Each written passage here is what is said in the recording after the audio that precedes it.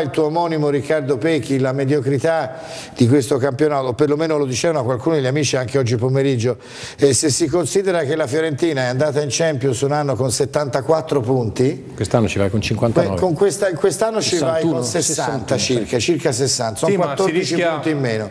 Facevo un'analisi pochi giorni fa. 61 l'Udinese adesso, dai. Sì, leggendo e, un po' quello che è emerso dal Consiglio federale. Eh, c'è il rischio, perché poi tra l'altro si sta creando un imbuto tra la Serie A e la Serie B, perché bene o male quelli che scendono risalgono eh, e viceversa. Con la riforma che mh, più o meno si sta paventando diventerà praticamente impossibile o quasi andare dalla Lega Pro alla Serie B eh, con il risultato che nel giro di 4-5 stagioni spariranno una quantità enorme di piazze che vivono di calcio, che fanno vivere il calcio perché portano gente allo stadio. Ci ritroveremo in Serie A o in Serie B eh, partite con 45 spettatori di cui 40 accreditati come stampa. Sì, ma non è però Riccardo un, neppure un bene per il calcio italiano che siamo arrivati a, a, a commentare questa sera un torneo in cui ci sono solo due squadre che contano, sì, come è accaduto per anni in Portogallo, come è successo Sud Europa, Spagna. la Spagna. E ragazzi, ecco sì, allora eh, va bene questo, io non credo,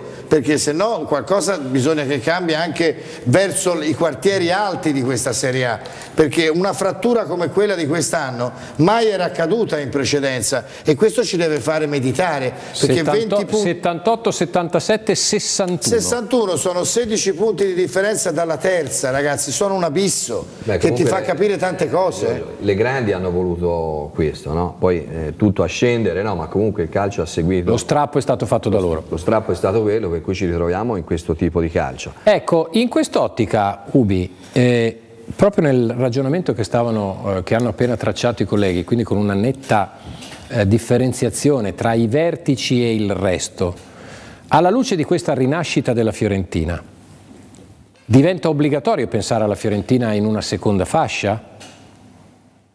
È impossibile dirlo adesso perché ci sono troppe incognite, non si sa chi è il direttore sportivo, non si sa chi è l'allenatore, non si sa voglia, che tipo di acquisti vogliono fare, non si sa se il progetto Mercafir va in, va in porto, non ci va, eccetera. Ci sono talmente tante incognite che oggi è sparare proprio al buio. Io non, non mi sento di dire una cosa o un'altra. A parte direttori possono... o meno, guarda, eh. io credo che dipende la, la, so, la società, sì, appunto, cosa voglia, tanto eh. gli investimenti più o meno si sa quelli che ci vogliono per ritornare. Poi è chiaro, ci vuole un direttore eh, all'altezza che ti indovina delle cose o meno, poi anche quelli bravi a volte sbagliano, ma